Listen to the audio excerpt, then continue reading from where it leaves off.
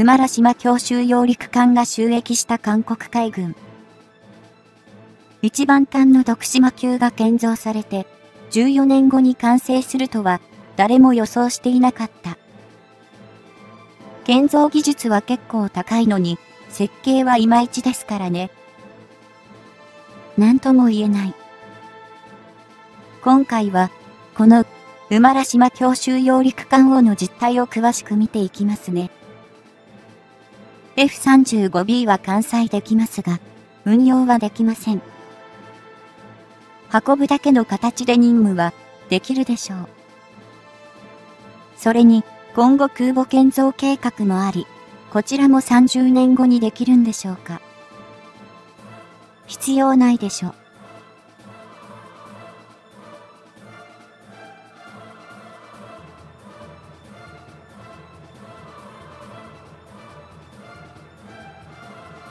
2022年2月現在、韓国海軍で最大規模を誇る艦艇が、徳島級強襲揚陸艦の2番艦、マラドであり、同艦は昨年2021年6月28日に収益しており、今後推進していく方向の航空母艦建造の礎となる艦艇だと言われている。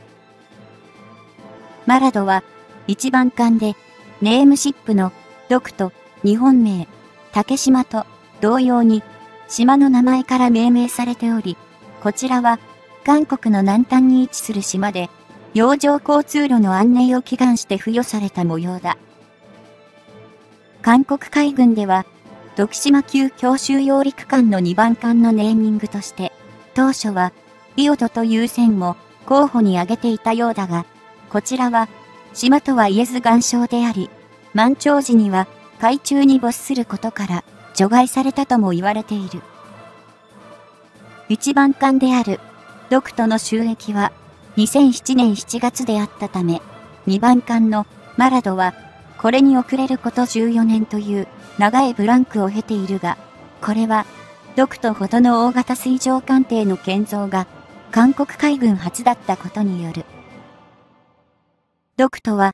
大型水上戦闘艦の建造実績が乏しかった韓国において、イギリスの軍需企業旧バイセマ社、現 BEA システムズ社の支援を得て建造されたが、初めてゆえに、その設計上の不具合も指摘されてきた。最も交換に解釈している、ドクトの設計上の不具合とは、股間の近接防御用に搭載しているオランダのゲンタレス・ネーデルランド社製の30ムサースである。ゴールキーパーの運用上の制約についての件が有名である。ドクトは、このゴールキーパーを2機搭載しているが、後方に配置された1機は、自身の飛行甲板上の機体をもい、戦場に収めてしまうという評価がされており、ノウハウ不足による設計の欠陥だとも揶揄されてきた。こうした反省を踏まえて、マラドは時間を置いて建造されたと召されており、韓国国内やそのメディアの報道では、同国海軍の象徴であると位置づけられているようで、これに寄せられる期待の声は大きい。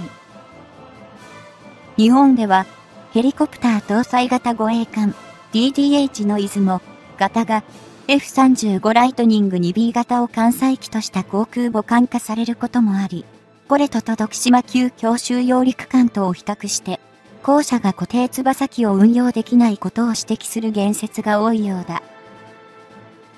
ただし、韓国海軍では、元より、徳島級強襲揚陸艦での F35 ライトニング 2B 型の運用は想定しておらず、あくまでも、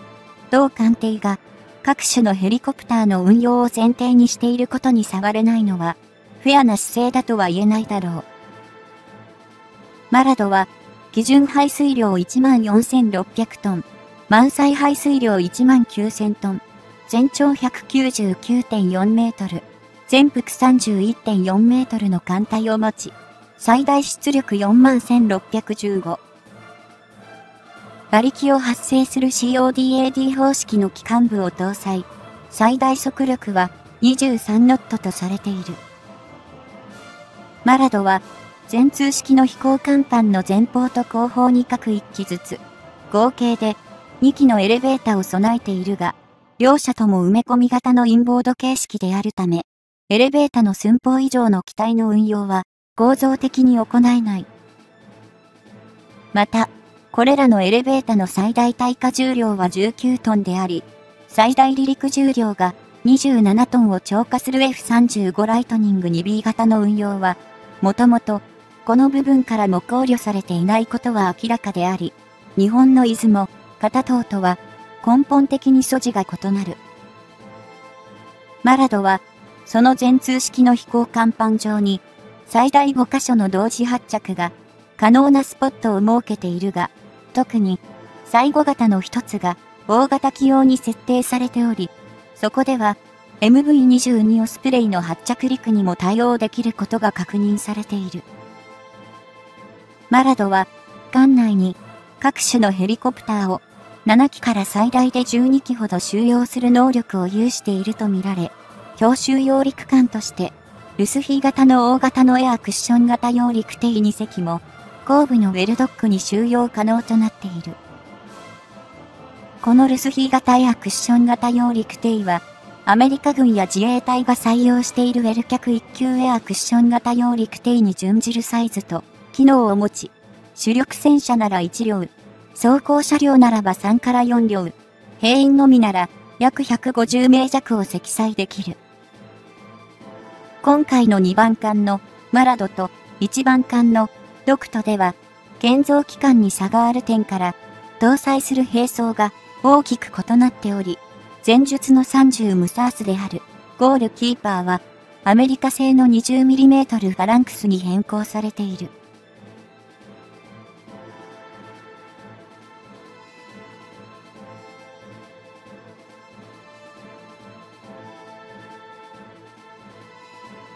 また、短距離防空用ミサイルもアメリカとドイツの共同開発品であった21連装のリム116から垂直発射型の KVLS4 セル内に国産のヘ軍艦体空ミサイルを収容する形式へと置き換えられており、装備の国産化を進めてきている状況にある。韓国海軍にとっての独島級強襲揚陸艦は、内陸の半島国家として、従来は小型の水上戦闘艦を中心とした沿岸防備を主任務に掲げていた同軍の運用範囲を拡大させることを起としており、より遠洋への進出を狙ったものと言えるだろう。こうした韓国海軍の遠洋への進出を目指す姿勢は、現在、進行形である航空母艦の建造に向けた、その目的としても顕著であり、この航空母艦が収益した際には、徳島級強襲揚陸艦2隻とともに、3つの艦隊を整備するものと予想されている。韓国メディアの世界日報によれば、徳島級強襲揚陸艦の一番艦、ドクトが2005年浸水を迎えた際には、中国と日本が、その全通式の飛行甲板を備えた艦の形状から、航空母艦ではないのかと警戒したと記述している。中国海軍の初の航空母艦にして、現在は練習用の艦艇として知られている遼寧の収益が2012年、日本の出雲、片護衛艦の一番艦、出雲の収益が2015年である事実に照らせば、その当時の韓国は、ある種の優越感を持っていたようでもある。ただし、これら中国や日本の艦艇が艦載機として固定翼機を運用することとなった現状を見て、徳島級強襲揚陸艦は、その任を満たせないことは認識しつつ、それらと同様の航空戦闘力を有さない点には、一末の不満も覗かせている。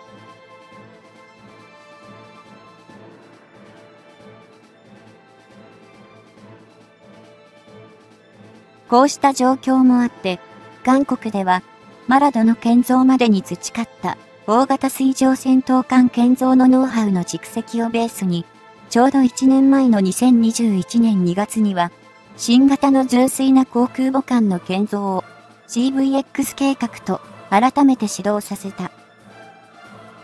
すでにこれに先立つ2020年10月には、韓国軍需企業の大手、現代重工業者が固定翼機